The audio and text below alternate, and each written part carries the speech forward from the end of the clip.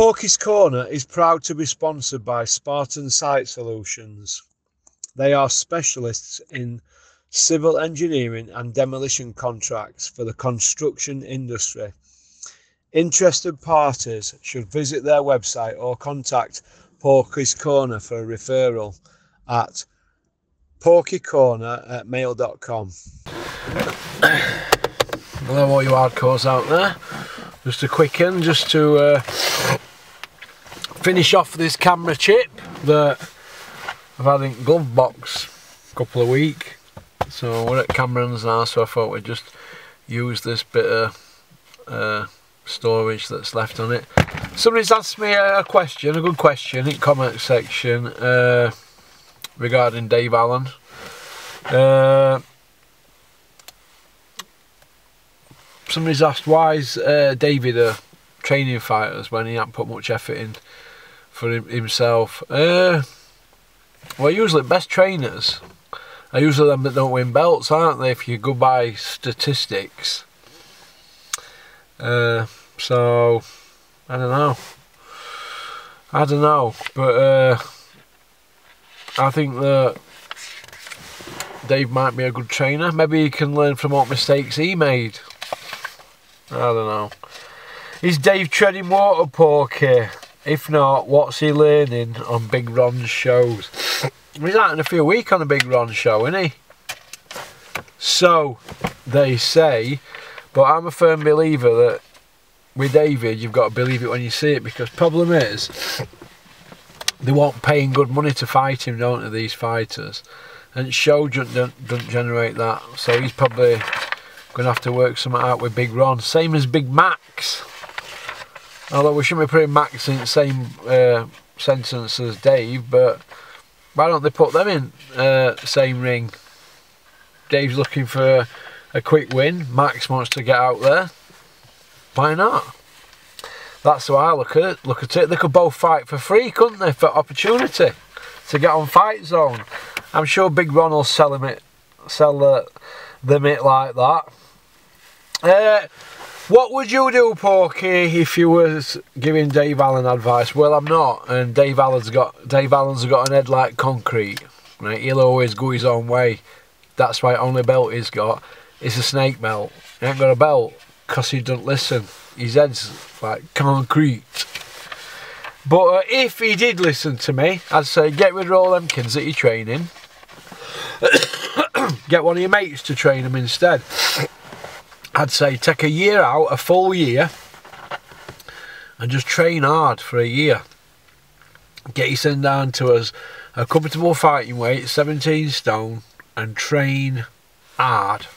It's not rocket science, is it? A young man, when David Brupp at Dennis's as a young man, and I mean young, he were on a wage and he were on paid to fight, and all he had to do was go to gym every day. If you can't do that at that age, you're not going to be able to do it 10, 12 years later, are you? Would I want to see him in with Max? Yeah. Let Max show us his ramrod jab he keeps going on about him and Big Ron. yeah, I'd like to see Max fighting, but Max is not so keen now. Uh, a full year of fitness. Uh,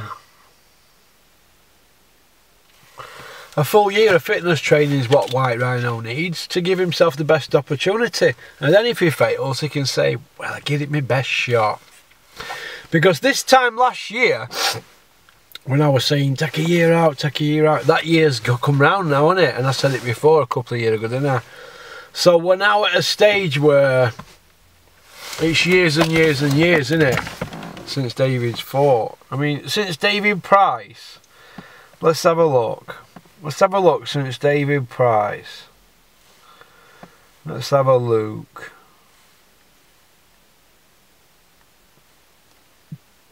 I bet it's four year. Four or five year. Right. One, two. One, two, three, four, five.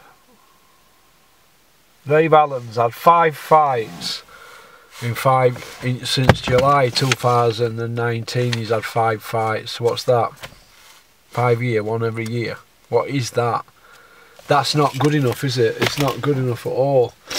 Now, hopefully, Big Ron can get him a couple of quick wins and then he can start doing the business. But this is what I see happening.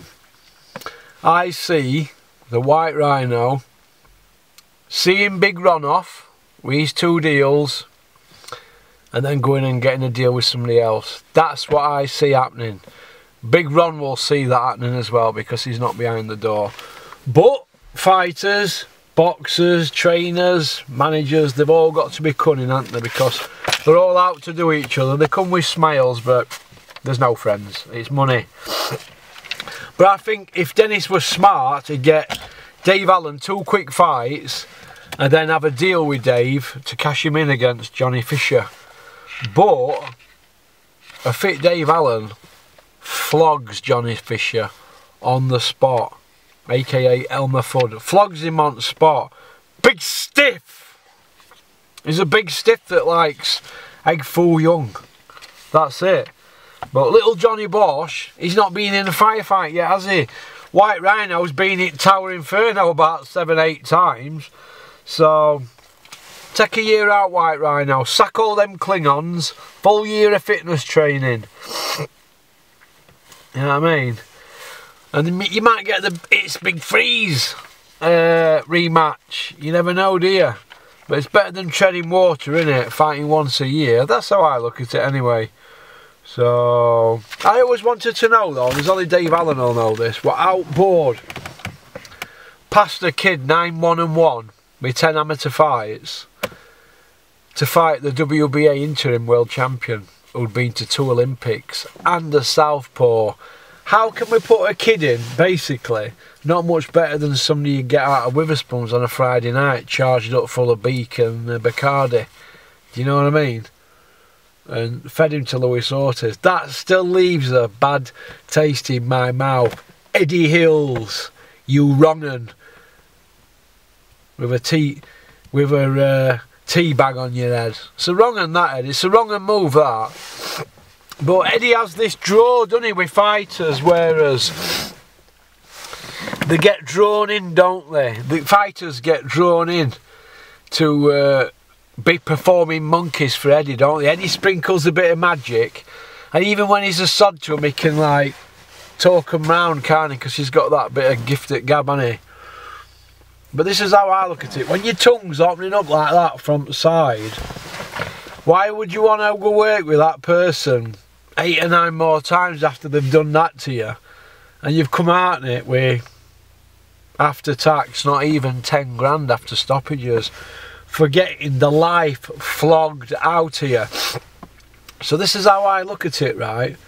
Somebody like Luis Ortiz now would be Zhilei Zhang, wouldn't it? An interim champion, WBO.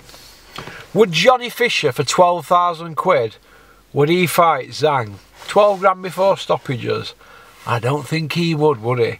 So why should the White Rhino at 9, 1 and 1, 11 fights, go in there like that to get flogged, and I mean flogged? Leaves a bad taste in my mouth. And that's why I think he's owed money from boxing, Dave Allen.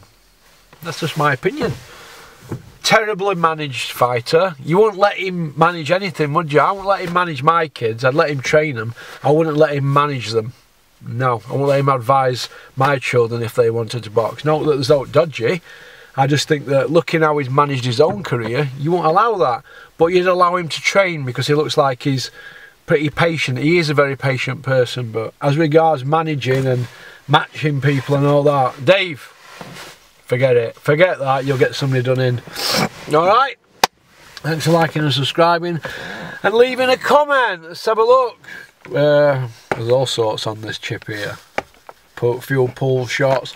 I'm not sure if there's uh, some immediate bench press. Looking a total weapon. So, okie dokie. So that's about it. One piece out. Have a nice weekend. Pop, pop, bang.